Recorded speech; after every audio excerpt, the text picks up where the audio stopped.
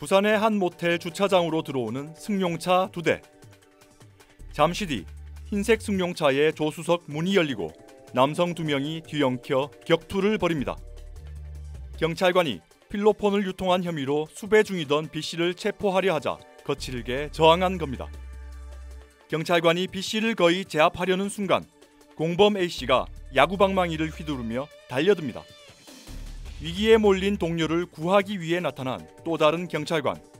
차에 탄 A 씨를 붙잡기 위해 운전석 창문을 발로 박살내며 추격하지만 검거에 실패합니다. 힘겹게 B 씨를 붙잡은 경찰관은 손가락이 복합 골절돼 평생 장애를 안고 살아가게 됐습니다. 소재를 알고 잡으러 갔던 것이 아니고 배처의 이 차량이라든지 이 사람들이 그거에 대해서 물으러 갔던 것인데 마침 그, 그 조가 된 거죠. 그때부터 아마 이 격투 같은 장면이 벌어집니다. 달아난 B 씨는 지난 1월 또 다른 모텔에서 환각 상태로 난동을 부리다 경찰에 체포됐습니다. 도피하는 동안 채팅으로 만난 여고생과 필로폰을 주는 대가로 성관계를 가진 혐의도 드러났습니다.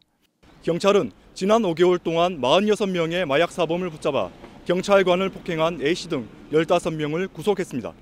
부산일보 박세익입니다.